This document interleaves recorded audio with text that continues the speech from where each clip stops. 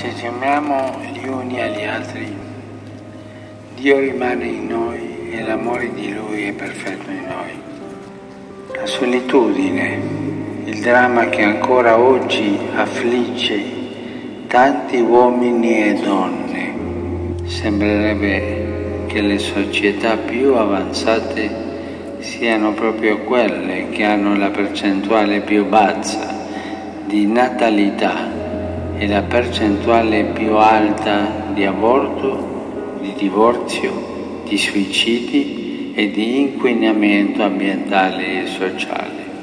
Per Dio il matrimonio non è utopia adolescenziale, ma un sogno senza il quale la sua creatura sarà destinata alla solitudine.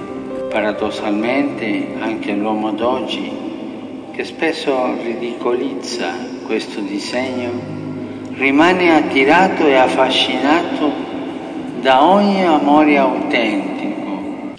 La Chiesa è chiamata a vivere la sua missione nella verità, che non si muta secondo le mode passeggere o le opinioni dominanti e la Chiesa è chiamata a vivere la sua missione nella carità. Non punta il dito per giudicare gli altri.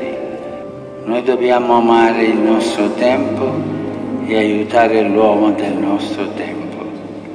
E la Chiesa deve cercarlo, accoglierlo e accompagnarlo.